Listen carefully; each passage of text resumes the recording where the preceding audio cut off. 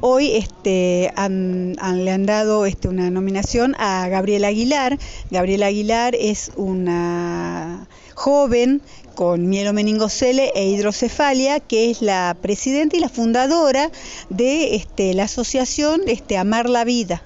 Eh, el objetivo de la fundación es poder acompañar a las mamás y a los niños en esta patología que les está tocando transitar.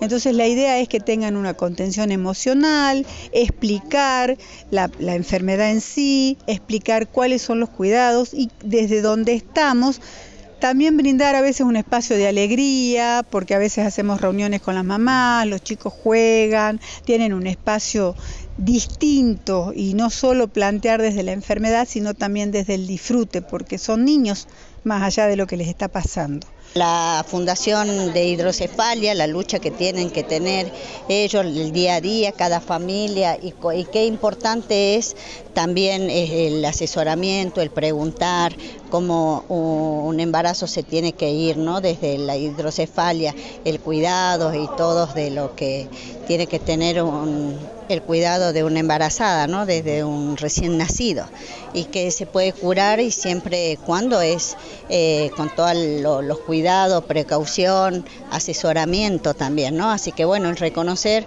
el trabajo que ellos vienen haciendo el día a día con toda esta con los niños, eh, con la capacidad y la superación, que sí se puede cuando hay compañía de todos juntos y estamos en equipo trabajando para ello.